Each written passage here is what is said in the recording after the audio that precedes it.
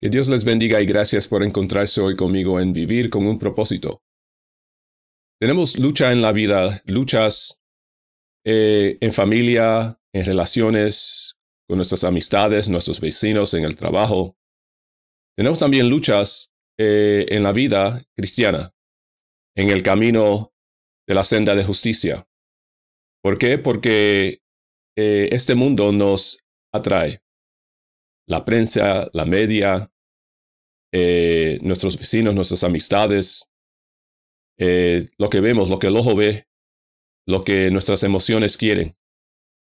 Y es una lucha. Es una lucha para el cristiano porque la mayoría de las personas están andando, vamos a decir, hacia abajo.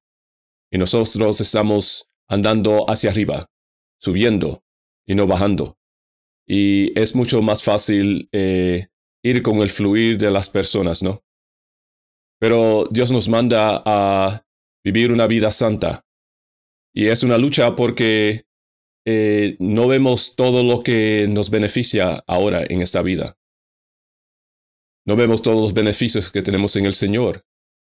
Y toma tiempo para entender que caminar en la forma que el Señor nos manda a caminar es eh, de ventaja para nuestras vidas, es de ventaja para nuestros familiares y para las almas. Y estamos andando eh, hacia la santa ciudad.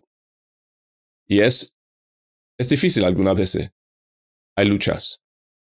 En el libro de Efesios, capítulo 4, del 17 al 21, en la nueva versión internacional, dice, Así que les digo esto e insisto en el Señor. No vivan más con pensamientos frívolos como los paganos, a causa de la ignorancia que los domina y por la dureza de sus corazones. Estos tienen oscurecido el entendimiento y están alejados de la vida que proviene de Dios. Han perdido toda vergüenza, se han entregado a la inmoralidad, y no se sacian de cometer toda clase de actos indecentes. ¿No fue esta la enseñanza que ustedes recibieron acerca de Cristo?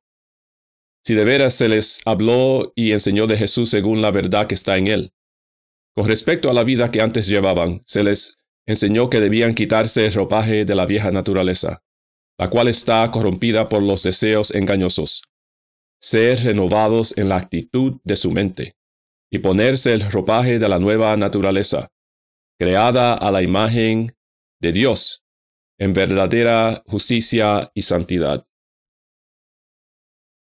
Pues Pablo nos indica que debemos andar con una mente fresca, una mente nueva, o sea, nuevos pensamientos, no en la futilidad del mundo, de las filosofías, eh, de la sociedad.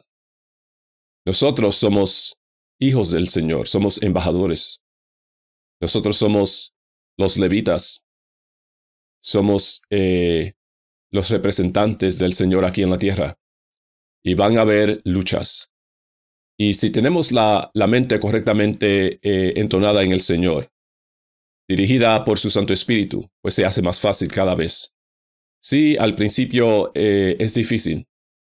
Cuando no estamos eh, orando y no tenemos un régimen de estudio de su palabra y de alabar su nombre y de ministrar y buscar su presencia, sí, se hace difícil, pero lo más que lo hacemos, se hace más fácil cada vez. ¿Por qué? Porque su Santo Espíritu, el Espíritu de Dios, mora en nosotros y nos diriges. Entonces vemos eh, el gozo y la ventaja y vemos nuestro carácter cambiar vez tras vez, día tras día. Piense sobre esto hoy en vivir con un propósito.